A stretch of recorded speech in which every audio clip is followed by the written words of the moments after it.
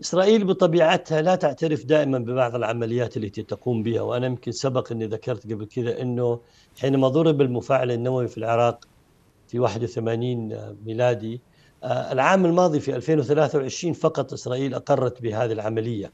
فهي في بعض الأحيان تقوم بعمليات ولكن لا تقرها في نفس الوقت مثل ما تم في عملية أصفهان على فكرة. لا إسرائيل اعترفت بتفاصيلها ولم يقدم الجانب الإيراني تفاصيل كثيرة عما تم في هذا. الملفت للنظر أنه في نفس المبنى اللي كان فيه إسماعيل هنية آه، الجهاد كانوا موجودين في نفس المبنى وعناصر من الحوثي من القيادة الحوثية كانت موجودة في نفس المبنى. ولكن كان واضح أن الاستهداف محدد على سيد إسماعيل هنية آه، بالتحديد.